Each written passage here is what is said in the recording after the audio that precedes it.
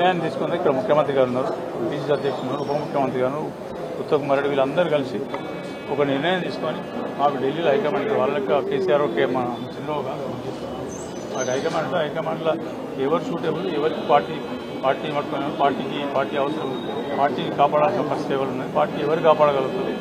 ప్రజల్ని ఎవరు వాళ్ళు నిర్ణయం తీసుకుంటారు శ్రీధర్ బాబు గారు ఇంత ముందుకు మీ పేరు చెప్పారు. మరి చేస్తారు? ఎవరైనా అప్రోచ్ అయ్యారా ఢిల్లీలో? లేకుంటే మీకు ఏమైనా కాల్ వచ్చిందా? అట్లా ఏమైనా ఆలోచన? పైరవి తోటి సీట్లో పైరవితో మంత్రి. మనం మనం మనం నిజంగా ఆడుతుంటే మనం మన పర్ఫార్మెన్స్ మంచిగా ఉంటే వాళ్ళ దగ్గర ఇస్తారు మహేష్ గారు మహేష్ గారు కూడా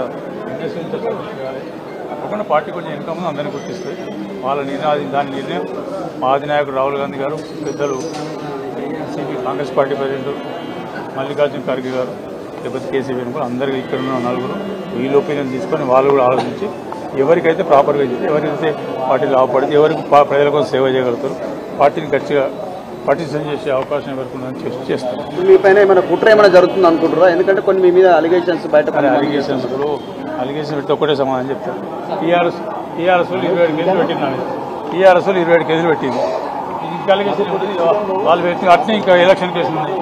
కేసులు కేసులు. వేరే ఉన్నాయి. వేరే కేసు కాదు కదా. టీఆర్ఎస్ వాళ్ళు నన్ను గత పడితే ఇరవై ఏడు కేసు ఆదివాసులు అమ్మడాల పంచాయతీ నాకు కేసు అని చెప్పండి? ఇరవై ఏడు కేసులు ఎలక్షన్ కేసులో పదో పన్నెండు ఉన్నాయి. అయితే ఏమో దానికి?